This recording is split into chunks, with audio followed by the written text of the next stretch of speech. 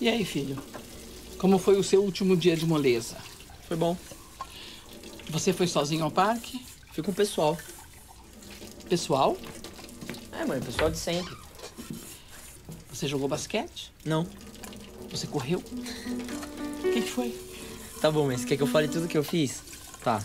Primeiro eu passei pelo portão, depois eu fui, pisei na Tá grama. bom, tá, tá, tá. Eu sei que eu tô sendo a mãe chata.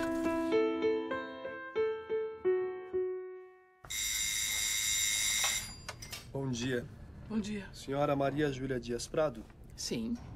nós temos um mandado judicial de busca e apreensão relativo aos computadores desse apartamento. Pedro!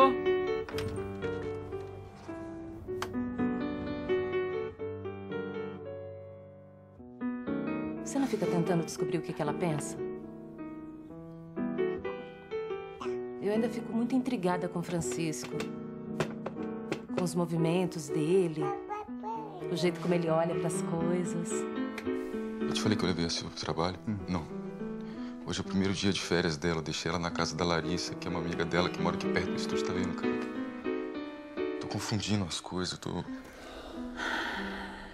Quando eu penso no dia que ele foi roubado, eu fico me lembrando daquele berço vazio do lado da minha cama. Pensa nisso agora, não. Não tem jeito. Eu penso nisso todo dia, todo dia. Berço no hospital,